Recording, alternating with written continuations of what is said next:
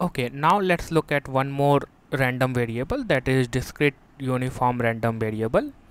So uniform random variables are useful in any context where there is an assumption that all the outcomes in a certain range and equally likely. We can think of an experiment where we are rolling a die. What will be the outcome of that experiment? The outcome of that experiment will be 1 2 3 4 5 and 6 if you look at this outcome outcome is in a certain range. All the elements are in between 1 to 6 and from our probability law assumption that all these outcomes are equally likely. Let's suppose we have a random variable associated with this experiment that is x. So what this random variable is doing. So you perform an experiment and you got let's suppose on rolling a die you got 1 as an outcome. So this will go as a input to this random variable and it will directly see that what's the outcome. It is 1 so it will directly map to 1 right? So in mapping there is no change. Whatever this random variables see or takes input that will get mapped to same right? Let's suppose you perform the experiment you roll the die and you got the 3 random variable will take this input or take this outcome as an input and it will map to 3 similarly for 4 similarly for 5 and 6 now this random variable is a uniform random variable. Why we are calling it as a uniform random variable? Let's have a look at that now if i ask you that for this particular situation for this particular problem that what will be the probability that random variable will take the value 1 so this particular event corresponds to getting 1 as an outcome.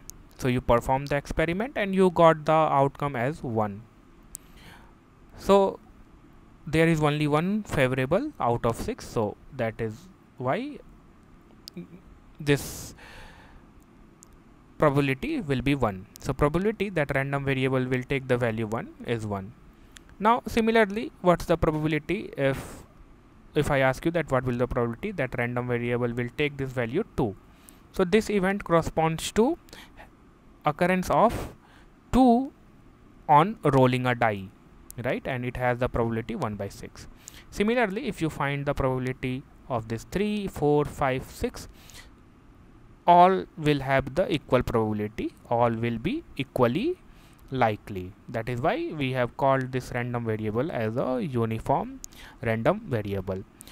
Now let's generalize this. So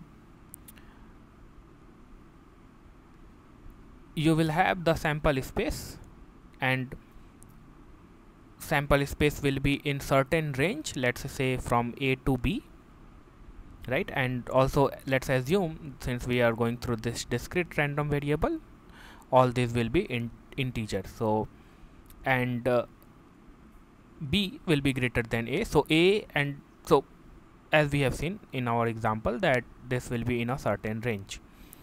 So sample space will be in a certain range. Then if I ask you that if how many elements will be there in a sample space.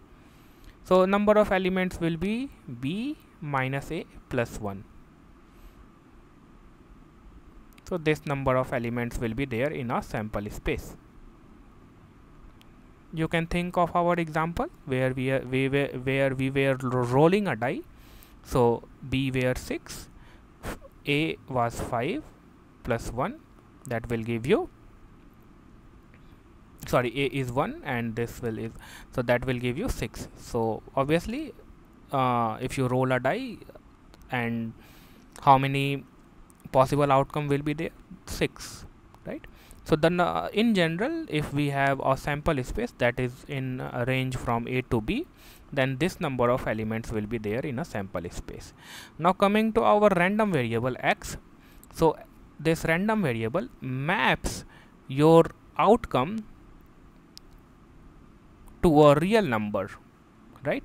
And this mapping, if you see whatever you have got as an outcome, that is directly getting mapped to your real number as we have seen our example right and if you observe so we will have random variable x and this random variable x will take the value from a to b right so a a plus 1 and b. Right? So if you observe these two parameters or these two a or value will define the probability distribution of this discrete uniform random variable. How? If we know a and b then we know how many number of elements will be there in a sample space. And if we know how many elements will be there in a sample space and with the assumption that all the elements are equally likely then we will have the information about the probability that random variable will take. So if I ask you that what will be the probability that random variable will take this value a what will be the probability so how many total number of elements that we have in our sample space? That is b minus a plus 1 right? And since all these are elements equally likely so that will the probability of taking the random variable value a will be this right? So if we if we have to draw the PMF of this particular ran uniform random variable so that will be uniform right? Every probability that a random variable x will take the value a or another element a plus 1 or maybe a plus 2 and so on b. And what will be the probability? The probability will be 1 divided by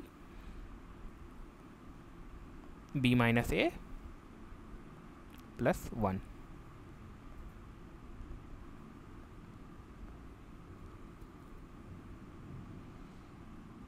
I think it should be clear. So all those points I have already written right? So for uniform random variable these are the two parameters that will define the complete uh, distribution.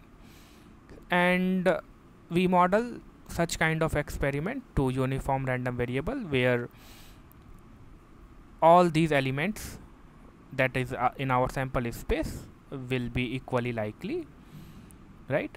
So and experiment that we are performing is that picking any of one that from the sample space and this uh, this will be the sample space that will be in a certain range and the random variable will be mapping the outcome of an experiment to whatever we have got as an outcome